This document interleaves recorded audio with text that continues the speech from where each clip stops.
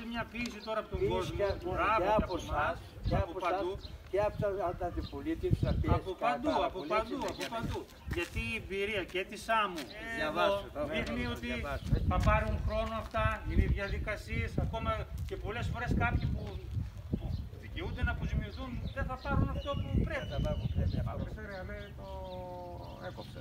Δεν επιτρέπεται, είναι μια επιλέξιμη δαπάνη, δεν μπορεί να το κάνει. Να γκρεμίσει Να σπίτια που γκρεμίσει ήταν για σπίτια. γκρέμιση. Οπότε, σύνολο- εκτός όλα τα άλλα, έχουν να γκρεμίσουν και τα σπίτια τους. Και φυσικά το να υπάρξει αποκατάσταση σε καινούριο σπίτι, να πάρουν κάποια αποζημίωση, δεν υπάρχει περίπτωση.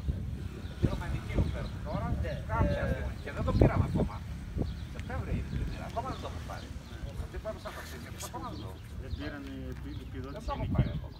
Έχω έρθει στην Αυτά καρδιά. που είχαν πει το 100% δεν έχει γίνει πουθενά. Δεν δόθηκε 100% αποζημιώσεις. που αισθητικοί χώροι δεν καλύβονται.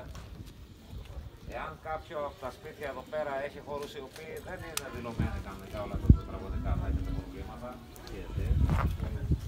Ε, στο Δήμο χρειάζεται μεγάλη πίεση. Όσες οικογένειες έμειναν δηλωμένα από σπίτια τους, έταξαν με επίδομα ενοικίου, δεν το έχουν πάρει ακόμα. Μας θυμίζω το Σεπτέμβριο πλημμύρισε κάτι. Μας έστειλε και το εργατικό κέντρο σαν μια επιστολή. Σας τη δίνω εσάς, Πρόεδρε. Και αυτοί είχαν πριν 6 μήνες σεισμόπληκτη.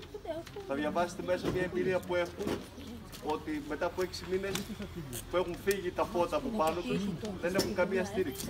Έτσι. Πρέπει να πιέσετε γιατί τώρα είναι νωρίς, είναι όλοι πάνω σας. Και ακόμα δεν, δεν έχουν Η καρδίτσα, η καρδίτσα και σεισμό πέρασε και αυτό το πράγμα που βιώνουμε και αυτό που έρχεται από εσάς, δηλαδή να φυλάξεις ό,τι έχει η Παναγία, να μην πάει κανείς μα κανείς τίποτα, πιστέψτε με και εγώ νιώθω ότι θα πρέπει να είμαι ο πρώτος μπροστάρης που θα τρέξω να πάω να στηρίξω. Γιατί το βιώνω, εγώ σήμερα το δέχομαι.